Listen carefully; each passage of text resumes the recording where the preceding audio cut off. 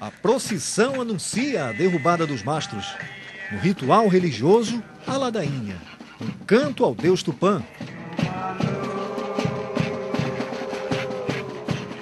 Depois, dois homens sobem nos mastros e jogam as frutas que estavam lá desde o início da festa do Sairé.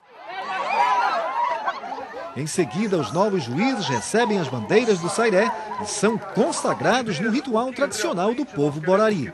Eles serão juízes do próximo Sairé. A derrubada começa.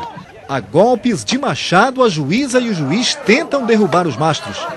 E mais uma vez, as mulheres saem na frente.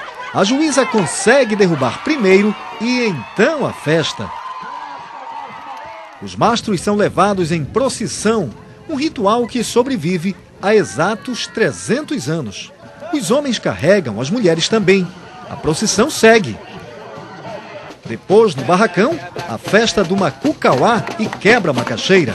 Os participantes visitam as barracas da praça, onde recebem doações para a festa da Secuiara, tradição que reúne a população para beber o tarubá. É costume do povo da vila.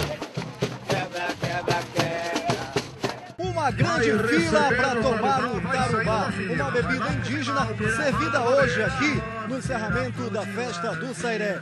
E claro, eu também vou provar um pouco do tarubá. Enquanto isso, os é gostoso. Nesse momento, o Sinal agradece a todo mundo que participou, ajudou a fazer a festa. Então, Terra do Chão vai se preparar, se Deus quiser, para a festa 2010 e com certeza vai fazer uma grande festa.